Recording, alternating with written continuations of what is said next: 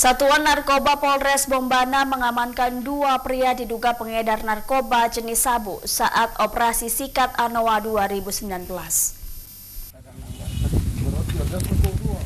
RM 39 tahun bersama rekannya JN 29 tahun warga Labandia Kabupaten Kolaka Timur diamankan di Mapolres Bombana karena memiliki 12 paket narkoba jenis sabu.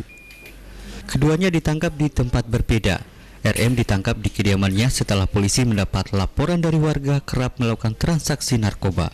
Sementara JN ditangkap di Kolaka setelah polisi melakukan pengejaran. Polisi menyita sejumlah barang bukti 12 paket sabu siap edar, timbangan digital, serta sejumlah uang hasil penjualan narkoba.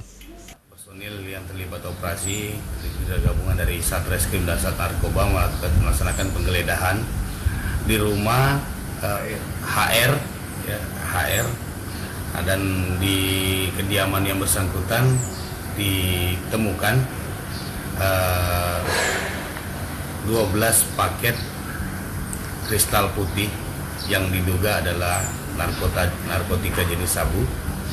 Uh, kemudian ditemukan timbangan dan uh, uang sebesar satu juta dan selain itu ditemukan juga alat hisap dan alat-alat uh, uh, menggunakan sabu lainnya. Kedua pelaku dijerat pasal 114 dan 112 Undang-Undang Narkotika nomor 35 tahun 2019. Ancaman hukuman paling lama 12 tahun penjara. Dari Bombana, Sudirman Ainus memberitakan.